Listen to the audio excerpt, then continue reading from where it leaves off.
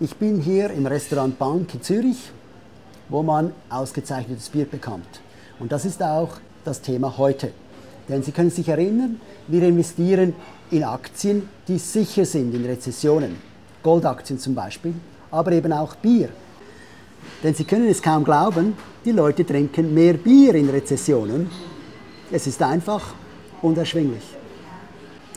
Deshalb war ich sehr glücklich, als ich gesehen habe, dass die Firma Anheuser-Busch, eine sehr, sehr große Bierfirma weltweit, ein ausgezeichnetes Value Ranking hat.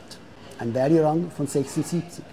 Und zudem wächst das Unternehmen schneller als 85 Prozent der Wettbewerber. Das sind zwei sehr gute Gründe zum Investieren. Allerdings habe ich dann auch gesehen, dass der Sicherheitsrang äußerst schlecht ist. Der Sicherheitsrang ist nur eins und das hat mich etwas verwundert. Also habe ich das verifiziert. Ich ging zu Reuters und habe geschaut, wie es dort mit den Sicherheitskennzahlen aussieht. Und das Gute an Reuters ist, dass sie nicht nur die Zahlen des Unternehmens selbst sehen, sondern auch die Zahlen des Sektors, also vergleichbarer Unternehmen. Und da stellt sich heraus, dass die Liquidität von Anheuser-Busch äußerst schlecht ist. Und das ist lustig ein Bier mit einer schlechten Liquidität nicht unbedingt ein guter Grund zum Kaufen. Aber noch schlimmer, das Unternehmen hat auch viel, viel mehr Schulden.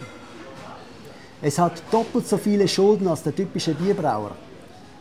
Und ich habe mich dann gefragt, warum, und habe die Antwort auf der Financial Times Webseite gefunden. Anheuser-Busch hat den größten Loan, also die, die, die größten Schulden die größte Anleihe, die je von einem Bierbrauer gezeichnet wurde, vor zwei Jahren gezeichnet.